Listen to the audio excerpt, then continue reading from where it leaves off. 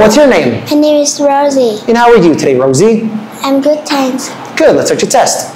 Look at the two pictures. There are many differences between the two. Can you please tell me three differences? In the first picture, the ball is red. In the second picture, the ball is blue. In the first picture, it's one tree. In the second picture, there's two trees.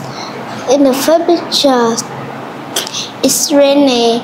In the second picture, it's not rainy. In the first picture, the monkey is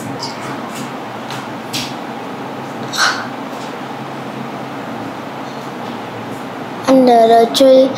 In the second picture, the monkey is on the tree. Okay, very good.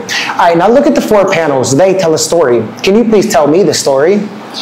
The old woman and the cat is sleeping The in the garden, the cat uh, the cat is climbing the tree. The cat can climb down. The woman can't help it. The woman is calling the helicopter. The man in the helicopter is helping the cat.